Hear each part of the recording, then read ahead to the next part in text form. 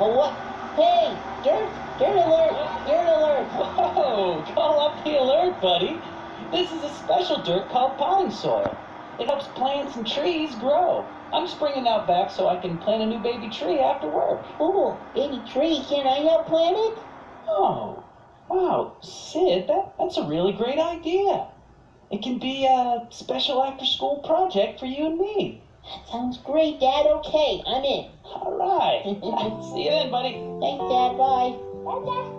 Um, so, wait, there are special kinds of dirt? I thought dirt was just, you know, brown stuff. Just dirt.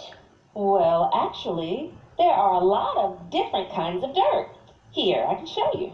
Let's investigate on the computer. Great. Hmm, okay.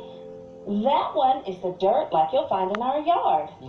This one is potting soil like your dad brought in, which is much darker. And this one is desert dirt, which has lots of little rocks and sand. Little rocks and sand. Mm. That's cool. Does all dirt have stuff in it like that? Well, that's a really good dirt question, Sid. I think you should dig into it at school. Yeah. Get it?